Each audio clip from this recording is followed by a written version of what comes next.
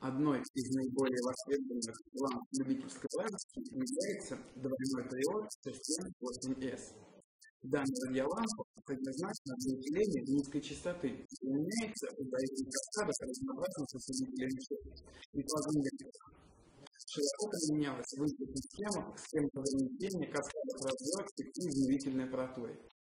Лампа содержит в себя два независимых привода, поэтому одна лампа может служить предварительным каскадом небольшого телеусилителя. Ее технические характеристики. Катод после накала. Напряжение накала 6,3 вольта. Ток накала 600 мм. Наибольшее напряжение на ноге 330 вольт. Наибольшая мощность растения на ноге 2,75 Вт. Сокол лампы актуальна и работает она в любом положении.